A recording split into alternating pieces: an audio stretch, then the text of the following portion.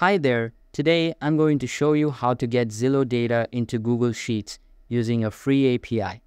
First, open any type of preferred browser on your PC and search for rapidapi.com. After that, sign into your account and you will be redirected to the home page. Now, if you go to the API Marketplace, you will be able to see all of the available APIs that you can use. You can just look around the whole section of the marketplace and find the ones you prefer. If I go to the search bar at the top and search for Zillow, you can see that all of the APIs related to the topic I just searched have appeared on my screen. We've got Zillow, Zillow Estimate, and some others along with it. For this example, I'm going to use the Zillow.com API. Simply click on the target API and this type of window will open up. Here, you will have all of the required details like API key, endpoints, and code snippets. In order to get started with a certain API, you will need to subscribe to it first. For that, click on the Subscribe to Test button at top right corner and all of the available plans will start displaying. We've got the Basic Plan, Pro Plan, Ultra Plan, and the Mega Plan. All of these are priced differently and have different perks to them, so make sure to look for the one that you would like to subscribe to and click on the Choose This Plan button. If you don't want to get a paid plan, you can also go with the basic to get the API for free. After selecting the plan, make sure to link a debit or credit card with your account. Once linked, click on the subscribe button to complete the subscription process.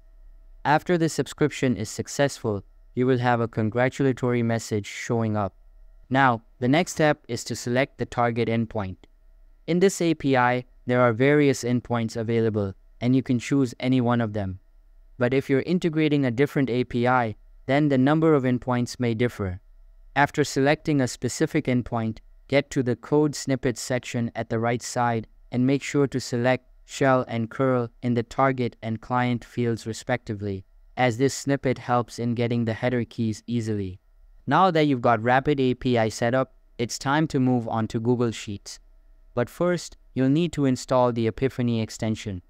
For that, open a new tab and search for apipheny.io slash install. You can also check out the link in the description below. Just click on it and you'll be taken directly to the download page. Now, click on the install button and open the Google Sheets website in a new tab. Here, create a blank sheet and make sure to sign into the same account you used to install the extension.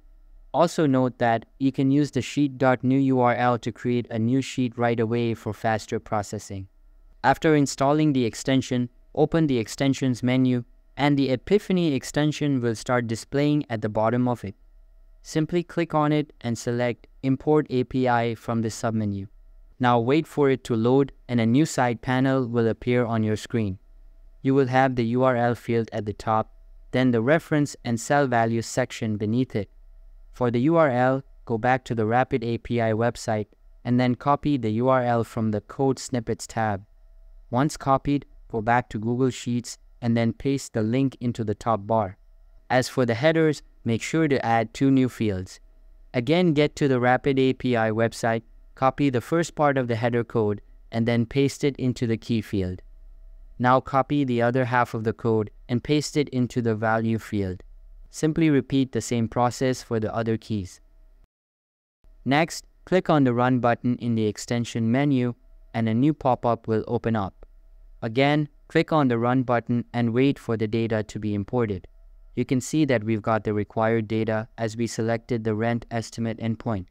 Note that there are no limits to selecting APIs, so make sure to select whichever one you prefer and then import data into your Google Sheets based on that. So that's how you can find and use free APIs in Rapid API along with the Apipheny add-on to get any data you want into your Google Sheet. If you have any questions, feel free to leave a comment or contact our support team. Thanks for watching and have a great day.